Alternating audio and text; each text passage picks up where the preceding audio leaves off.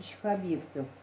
Жилой дом по Булатниковскому проезду владение 16А. Это стартовый дом по программе реновация. Планируем завершение строительства второй квартал 2021 года.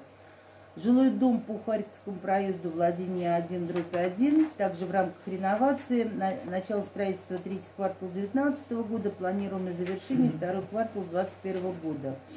Физкультурно-оздоровительный комплекс по Мединской улице владение 6. Ориентировочное завершение строительства третий квартал текущего года. После завершения строительства подрядная организация будет выполнена благоустройство существующей детской площадки. Многофункциональный общественный центр «Бирюсинка» по адресу Булатниковского владения 9А. Ориентировочное завершение строительства четвертый квартал 2021 года. Также э, строится производственный комплекс по производству деталей из листовой стали по Ступинскому проезду владения 1. Завершение строительства также второй квартал 2021 года.